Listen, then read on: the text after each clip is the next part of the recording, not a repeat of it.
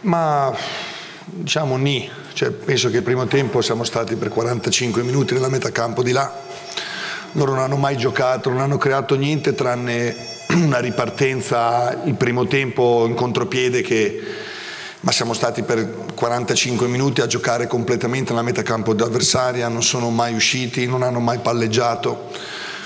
Secondo me il fatto di venire uomo contro uomo, insomma, sapevamo che sarebbero venuti in questo modo qua, ci può aver facilitato le cose, perché noi siamo abituati a giocare uomo contro uomo, quindi era un sistema di gioco a specchio e secondo me ci ha facilitato molto, molto il compito.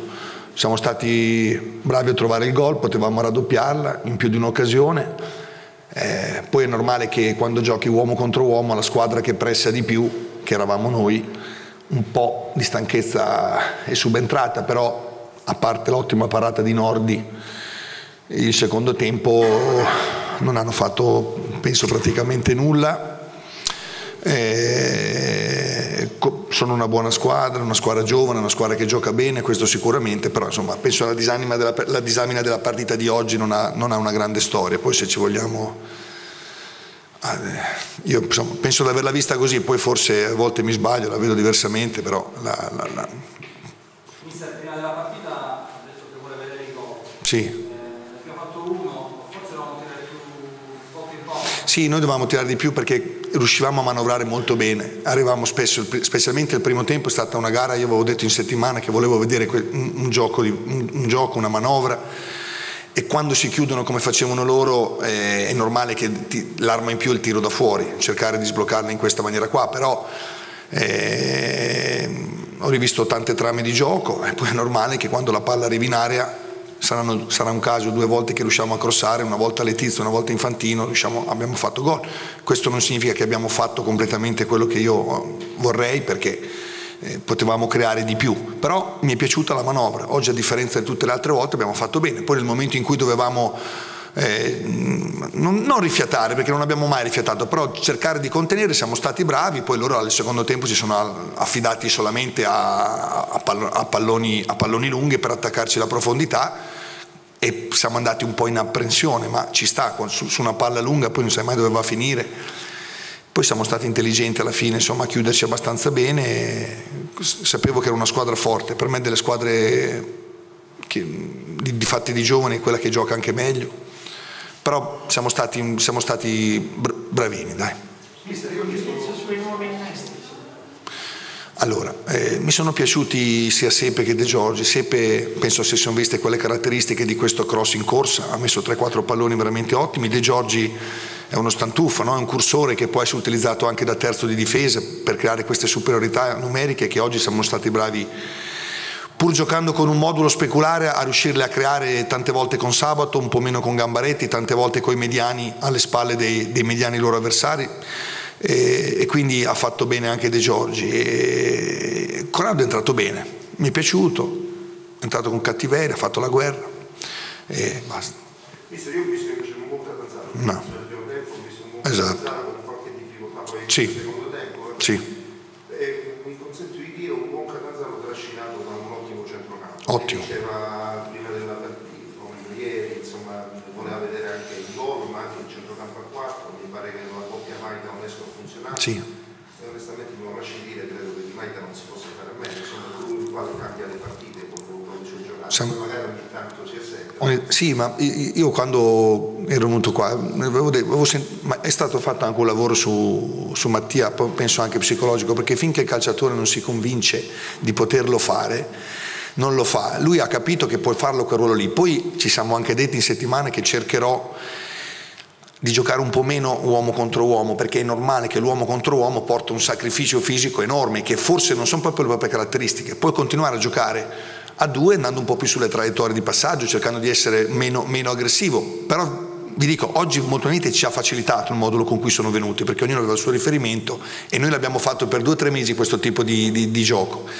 Eh, però sono d'accordo con te perché se, se, se, è quello che ha fatto, è, è quel giocatore che, che può avere un po' più di qualità ma anche una discreta fase di non possesso però sono d'accordo sul fatto della manovra che hai detto per me il primo tempo è stato era un piacere vederli giocare pur casomai non tirando tantissimo creando varie occasioni pericolose però si muovevano veramente bene. Poi la partita un po' ci siamo allungati, come era giusto che sia, loro hanno anche giocatori di qualità.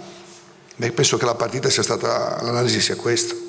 L'esclusione di Zanini dall'11 e la convocazione di Umberretti in partita. Mazzanini aveva la febbre 38, si è alzato stamattina, aveva la febbre 38 e ho parlato col ragazzo, ho detto mister sto, sto male, quindi De Giorgi l'ho spostato, l'ho spostato, l'ho spostato quarto io, io, ho chiesto, quando sono venuto alla società, ho chiesto di, di, che durante gli allenamenti, quando vedete, porto sempre due o tre ragazzi de, della Beretti, diciamo quelli un, un po' più pronti, no? sono sempre che si allenano con me, penso che sia anche il compito di un allenatore cercare di valorizzare quello che può essere il, il, il settore giovanile, ma guarda, parlate con uno che per i giovani non voglio dire stravedo, però avete visto che ho, li ho fatti giocare, ho fatti non, io non ho problemi.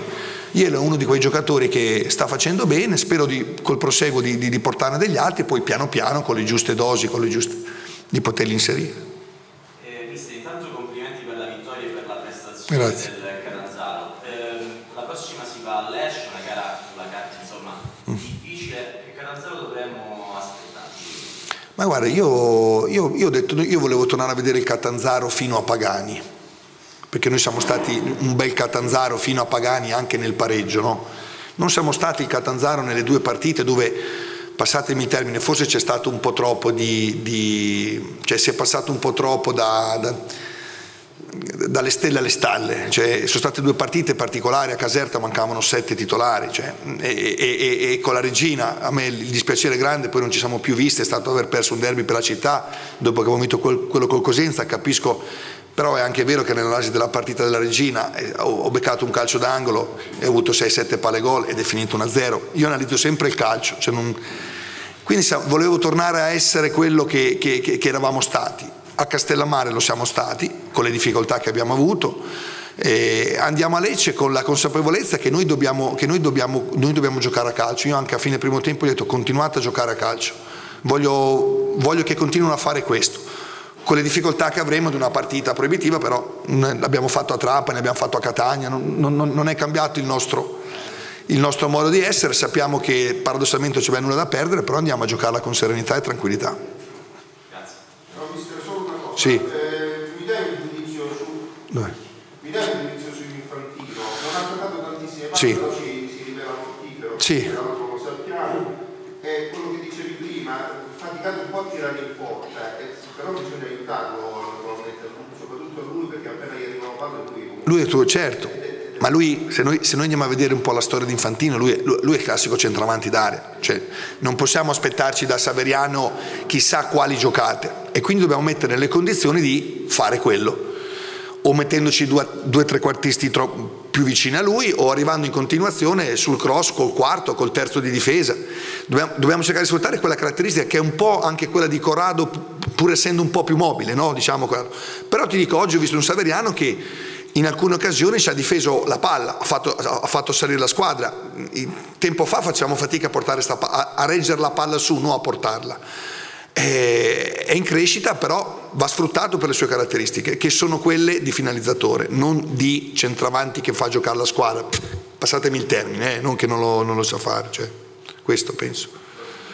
Ok, grazie a voi, ci vediamo.